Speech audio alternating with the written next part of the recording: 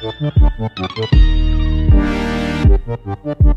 everyone, how are you all doing? In this video, we are going to talk about WWDC. Oh my god, it is today. We are going to get the first beta of WatchOS 9 and iOS 16, macOS. Everything is gonna get released today. I am so, so excited. And I know you guys are excited too. So hit that subscribe button and turn on notification because I will be coming up with a lot of WWDC coverage for you guys. You do not have to miss it, so click that subscribe button right now. Now that you have done that, let's talk about how to install the first beta of WatchOS 9. Let's go and start. Alright, so the first thing you're gonna do is uh, make sure that your watch is backed up and uh, after doing that, uh, I would not really suggest installing a beta on your watch though because uh, it is, you know, if you are on a beta, it is not really easy to go back to the public version on your watch. Uh, it is just possible just go to the apple store ask them to do it and uh, that too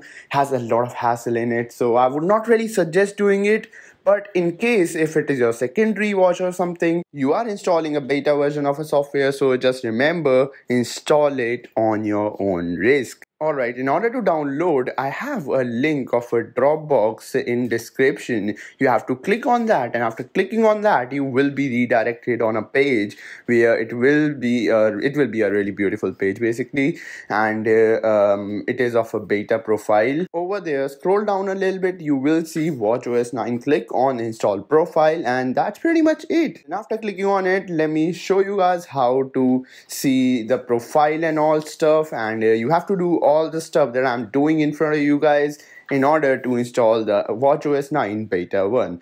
Oh my god, I'm just so so excited for today. Apple will be releasing so many new updates. I am so excited to cover it and show to you guys so be sure to hit that subscribe button because we are really close to 10k and I want to get to 10k as soon as we can. Oh my god, there is just so many things today. I hope so I helped you guys in installing the WatchOS 9 beta 1 on your watch and if you have installed it, let me know down in comments below. When are you watching this video? Are you guys excited to watch WWDC 2022 with me tonight? And if you haven't really watched WWDC right now, you are watching it before WWDC, so click that that subscribe button and turn on notification. Make sure the notifications are on because I will be doing a live stream too. So make sure to turn on notifications. Thank you so much for watching this video till the end. I will be coming up with a lot of more videos like these. Consider hitting that subscribe button if you are new here. Peace out and have a great day everyone.